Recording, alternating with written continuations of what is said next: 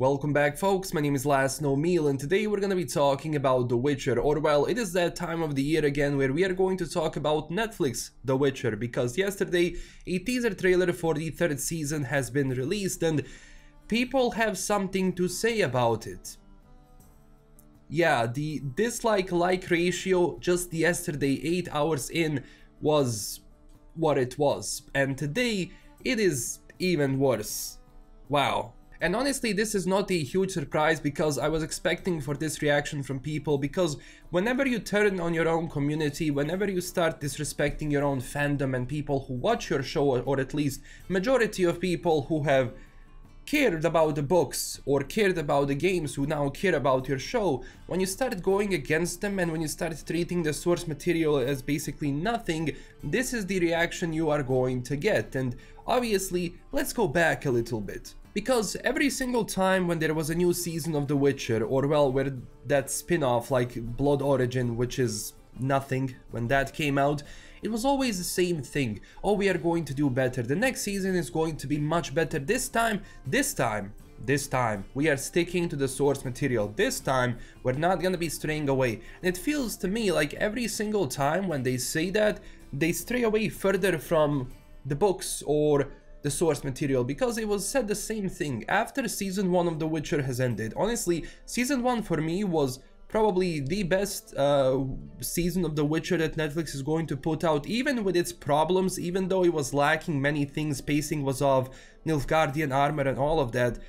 First season was still one of my favorites because the second season I absolutely did not enjoy it. It was all over the place and especially as it strayed so far away from the books, I just I stopped caring about it to be honest, because if you don't respect the source material, why would I care or respect your show? There is nothing for me to see in it.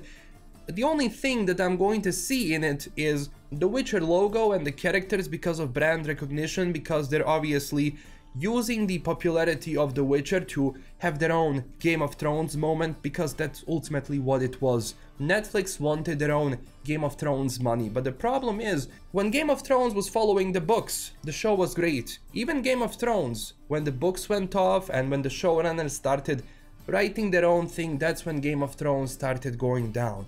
And this should have been a lesson to everyone who adapts this sort of source material, especially from the books. Books are very important to people. People grew up with them. Imagine if someone made Dune and it wasn't as good. You would be mad. Or at the same time, if Peter Jackson wasn't taking his own work seriously before when he was working on Lord of the Rings, and that's why Lord of the Rings trilogy today still holds and is still viewable and amazing and wonderful because of the amount of passion which was put into this every single moment of that source material from Tolkien was taken seriously. And that's the problem with Netflix. They don't take Sapkowski seriously. And also on the other hand, Sapkowski doesn't care all that much. I mean, for as long as, you know, he sold the rights to it. I mean, you have you have people who don't care much about it. He's keep in mind, he's an old guy. So, of course, he's not going to be able to stay on top of everything and ultimately money is money and if Netflix gave him a good bag of money and I'm sure they did, I mean, who wouldn't accept it? But at the same time, this is ultimately on Netflix because looking at the third season right now, you can already see that um, there are going to be issues, there are going to be problems. And one of the first things people have noticed in the teaser trailer was the clothes Yen was wearing. You're telling me Yennefer of Vengerberg is going to wear this? No, it's not. And it, this is where those problems come because none of those writers and even the showrunner, I will say it, they either understood the source material but are refusing to accept it and we know that the, the, some of the writers were insulting Andrzej Sapkowski, the books and the games because they hated them, they wanted their own spin on it which is ultimately what we got. I mean, uh, Blood Origin was a perfect example what Netflix actually wants. They want they want their own generic fantasy show with the logo of The Witcher. And this is the same problem I think Season 3 is going to suffer, especially because you know, behind the scenes, Henry was not happy. You, it, It's going to be so obvious because there is not going to be that same passion going from those actors, especially Henry, when it comes to, to his character. And when you have this third season, which looks all fine and amazing on the trailer, you have to understand, in behind the scenes, the background, it was hell. It was absolute hell. Because when your main, main person, the one that you put on the poster, the main actor, the main star, quits and leaves, it tells you enough. And Henry was pretty much holding out this show, I'm gonna be honest. Like at first when they cast Henry Cavill, I was like, ooh, this, this, this is not good. Maybe, you know, are you sure that he's going to be the next Geralt of Rivia? And then afterwards, when he said that he likes the books, that he read the books, that he played the games, and he's a huge fan of The Witcher and Geralt of Rivia, people accepted that because they saw passion. And even though maybe uh, face-wise and body-wise, he's not Geralt of Rivia because his Geralt of Rivia is a little bit buffer than Geralt is supposed to be, but still, he portrayed the role well because he cared about it, because he had passion, because he knew the character, he knew the atmosphere he was supposed to be in, and he knew how to act in it, because he understood the books. I'm gonna be honest, Ciri and Yennefer, uh, their actresses, they did not. And there was an interview prior to, like, uh, you know, casting being done and ev being everyone being revealed who they're going to play, like, uh, they said like they haven't read the books and it's going to be okay because for some actors they're not going to be huge fans of the show they're in. Like they don't mean that they're geeks or nerds or anything for them it's a job. But at the end of the day you have to do the job right. And that's the problem because the showrunner and the writers do not understand it so obviously they're not going to give you good material and the overall show is just going to be mediocre. It's not going to be great. And it's never going to be great, especially now with Henry essentially killing the show by leaving. And I don't blame him, 1%. And of course, there are other issues, because when you stray away from the source material, you get confused. And you could have seen that in the second season of The Witcher. I'm not going to spoil everything, but if you have seen the second season of The Witcher, you know what I'm talking about. Decision Yennefer was making, Ciri was making, uh, Geralt was making, the whole arc in Kaer Morhen with having some stand-in witchers in the background because you didn't realize that these are the last witchers after the burning of Kaer Morhen, after the time of the witchers has passed, but for them they don't care, they had to have some stand-ins, you know, sitting in the background acting like witchers even though there is no logical explanation why they are there because you did not or refuse to understand the lore and the source books. And whenever that happens, you have seen the problems it caused in the script at the end of the second season. And now in the third season, they write family. How can they be family after what has happened at the end of the second season?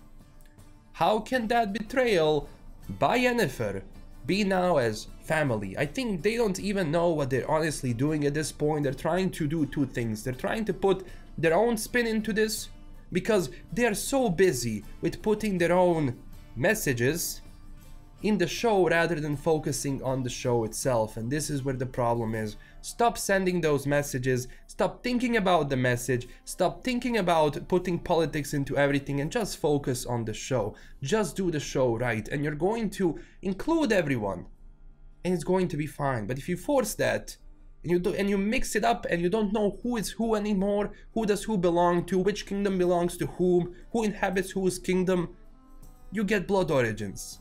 And this is the perfect example why I don't think that Netflix is gonna be able to continue The Witcher after Henry leaves. I think there is going to be one season with Liam, and I doubt there is going to be a season after that. It depends really, but the majority of people who watch the show are just pretty much done with it. Even people who have actively defended the show after Henry left, they're like, ooh, no. So I'm gonna be honest with you, this Witcher show is turning into a telenovela and uh, there is nothing really The Witcher in it. Um, I like how they try to to put like let's say um, Polish folklore or Slavic folklore or anything else into the show. They try so hard, but ultimately they fail because they do not understand it.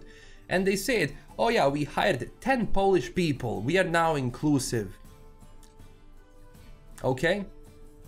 Whatever, just focus on the show and maybe next time you're going to do it better because right now people are angry and it's not looking good because I was following The Witcher before, like at the moment it was announced, I was following it because it was supposed to be a film, then it was uh, cancelled, and then basically Lauren pitched the idea to Netflix and then it became a series. And through this entire time, I was just looking at uh, the showrunner, uh, Lauren Schmidt. She was every single time, she was just saying, oh yeah, now we're going to do better. Now we're going to do justice. We are only following the books. We're not following anything else but the books. We only stick to source material because everything is there. Those are her words. Why would we why would we put anything? Because everything is already there in the books.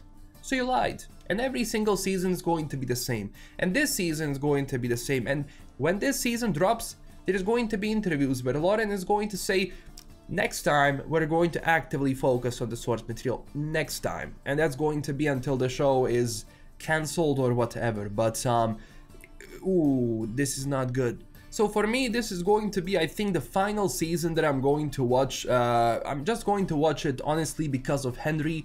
Um, but even that is going to be like, you know, I'm not expecting anything big. And when I'm going into the show, with this mindset, it is really bad. It is really bad. So, uh, I wish them all the best, but honestly, without Henry, they are pretty much done, and this show is going to be done for it, because ultimately, that is their fault. The writers and the showrunner team, the producers team, ran the show into the ground, and it is, it is absolutely their fault that this is happening. But of course, as it is with everything, be prepared for them to say it's your fault. It is the fandom fault. It is these hater fault that our show is not doing well and they are doing everything they can to stop our show from happening. No, it is your your problems, your decisions which led to this point right now. And uh, even Henry talked about it when he, you know the interviewer always says like, "What do you think about the hate? What do you think about the haters?" And Henry basically said there that um, it's not just about hate. You have fans who have passion and who care about that source material, who care about that world, who care about that universe,